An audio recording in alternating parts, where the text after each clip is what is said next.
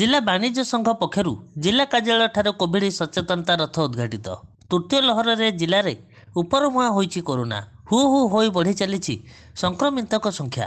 ଜିଲ୍ଲା ପ୍ରଶାସନ ଓ ପୋଲିସ ପ୍ରଶାସନ ମୁଣ୍ଡବିନ୍ଧାର କାରଣ ପାଲଟିଥିବା ବେଳେ ଆଜି ଜିଲ୍ଲା ବାଣିଜ୍ୟ ସଂଘ ପକ୍ଷରୁ ଢେଙ୍କାନାଳ ଜିଲ୍ଲାପାଳଙ୍କ କାର୍ଯ୍ୟାଳୟଠୁ ଏକ କୋଭିଡ ସଚେତନତା ରଥ ଉଦ୍ଘାଟିତ ହୋଇଯାଇଛି। ଜିଲ୍ଲାପାଳ ଶ୍ରୀ ସରୋଜ କୁମାର ସେଠୀ ପତାକା ଦେଖାଇ ଶୁଭ ଉଦ୍ଘାଟନ କରିଥିଲେ। ଏହି ସଚେତନତା ରଥ ଜିଲ୍ଲାପାଳଙ୍କ କାର୍ଯ୍ୟାଳୟଠାରୁ ବାହାରି ସହର ସାରା ସଚେତନତା କରିବ। ଢେଙ୍କାନାଳରୁ ବଳରାମ ସାହୁଙ୍କ ରିପୋର୍ଟ ଓଡ଼ିଶା ପ୍ଲସ୍। ଜିଲ୍ଲାରେ ସରପଞ୍ଚ ପଦବୀରେ ପଚାଶ ପ୍ରତିଶତ ମହିଳା। ଢେଙ୍କାନାଳ ଜିଲ୍ଲାରେ ଦୁଇଶହ ବାର ପଞ୍ଚାୟତରେ ସରପଞ୍ଚ ପଦବୀ ଲାଗି ପ୍ରକାଶ ପାଇଛି ଚୂଡ଼ାନ୍ତ ସଂରକ୍ଷିତ ତାଲିକା। ସଦର ବ୍ଲକର ତିରିଶଟି ପଞ୍ଚାୟତ ମଧ୍ୟରୁ ପନ୍ଦରଟିର ବିଭିନ୍ନ ବର୍ଗରେ ମହିଳାମାନଙ୍କ ପାଇଁ ସଂରକ୍ଷିତ ରହିଛି। କାଇମାଟି ଚନ୍ଦ୍ରଶେଖର ପ୍ରସାଦ ଚାଉଳିଆ କାଙ୍କଡ଼ପାଳ ଧୀରପାଟଣା ନଡ଼ିଆଳି ନାଗିଆପଶି ବେଲଟିଗିରି ମାଣିପୁର ଭାଲିଆବୋଲ କାଟଣୀ ସପ୍ତଶଯ୍ୟା ଶଙ୍କରପୁର ଏବଂ କାକଡ଼ିଭାଗ ପଞ୍ଚାୟତରେ ଅଣସଂରକ୍ଷିତ ରହିଛି। ସେହିପରି କଙ୍କଡ଼ାହାଡ଼ ବଳଦିଆ ବନ୍ଧ ଭାପୁର ବଣସିଙ୍ଗି ଅନୁସୂଚିତ ଜାତି ମହିଳା ବର୍ଗମାନଙ୍କ ପାଇଁ ରହିଛି।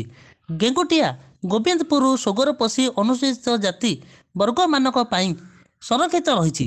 ସେହିଭଳି ତରଭା ତାଳବରକୋଟ ନୂଆଗାଁ ବାରଦା ବାଲିଆମ୍ବା ମଙ୍ଗଳପୁର ମଧୁସାହପାଟଣା ରାଧାଦେପୁର ସୁଆଖାଇ କାଟଣୀ ସାଙ୍କୁଲେଇ ମହିଳାମାନଙ୍କ ପାଇଁ ସଂରକ୍ଷିତ ରଖାଯାଇଛି ବୋଲି ସୂଚନା ମିଳିଛି। ଢେଙ୍କାନାଳରୁ ମହେଶ୍ୱର ସାହୁଙ୍କ ରିପୋର୍ଟ ଓଡ଼ିଶା ପ୍ଲସ୍। ଢେଙ୍କାନାଳ ଜିଲ୍ଲା ସଦର ମହକୁମାରେ ତେସ୍ତରୀତମ ସାଧାରଣତନ୍ତ୍ର ଦିବସ ପାଳନ ନିମନ୍ତେ ପ୍ରସ୍ତୁତି ବୈଠକ। ଢେଙ୍କାନାଳ ଜିଲ୍ଲା ସଦର ମହକୁମାରେ ତେସ୍ତରୀତମ ସାଧାରଣତନ୍ତ୍ର ଦିବସ ପାଳନ ନିମନ୍ତେ ଆଜି ଅପରାହ୍ନରେ ଜିଲ୍ଲାପାଳ କାର୍ଯ୍ୟାଳୟସ୍ଥ ସଦ୍ଭାବନା ଗୃହଠାରେ ଜିଲ୍ଲାପାଳ ଶ୍ରୀ ସରୋଜ କୁମାର ସେଠୀଙ୍କ ଅଧ୍ୟକ୍ଷତାରେ ଏକ ପ୍ରସ୍ତୁତି ବୈଠକ ଅନୁଷ୍ଠିତ ହୋଇଯାଇଛି। ସମ୍ପ୍ରତି କରୋନାର ଦୃଢ଼ ସଂକ୍ରମଣକୁ ଦୃଷ୍ଟିରେ ରଖି ସରକାରଙ୍କର ଦ୍ୱାରା ଜାରି କରାଯାଇଥିବା ମାର୍ଗଦର୍ଶିକା ଅନୁଯାୟୀ ପବିତ୍ର ସାଧାରଣତନ୍ତ୍ର ଦିବସ ପାଳନ କରାଯିବ।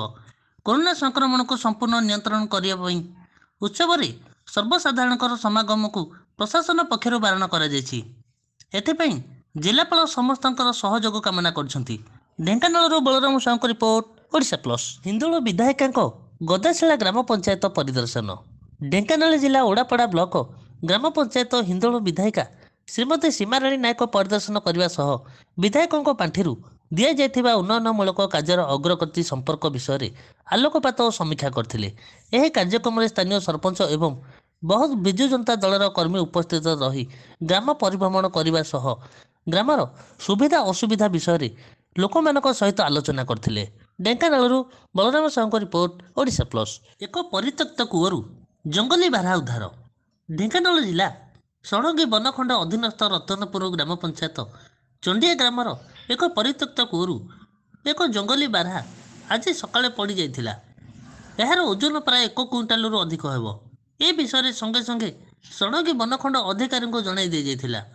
ବନ ବିଭାଗ ଆସିବା ପୂର୍ବରୁ ଗ୍ରାମର ଯୁବକ ସଂଗଠନ ବାରହାଟିକୁ ବଞ୍ଚେଇ ରଖିବା ପାଇଁ କଦଳୀ ଗଛ କୂଅ ମଧ୍ୟରେ ପକାଇଥିଲେ ଯାହାଦ୍ୱାରା ବାରହାଟି ଗଛ ଉପରେ ବସି ଭାସିଥିଲା।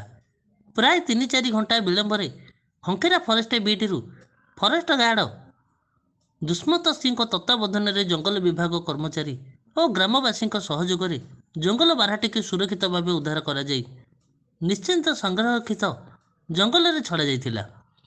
ଏହି ଉଦ୍ଧାର କାର୍ଯ୍ୟରେ ତମେ ତ ପଳା ପଛକୁ ପଳା ହେଲା। ସଦସ୍ୟମାନେ ସହଯୋଗ କହିଲୁ କରିଥିଲେ। ଡାଇରେକ୍ଟ ସହ ଜଙ୍ଗକୁ ଧରିବା। ଢେଙ୍କାନାଳରୁ ମହେଶ୍ୱର ସାହୁଙ୍କ report Odisha plus.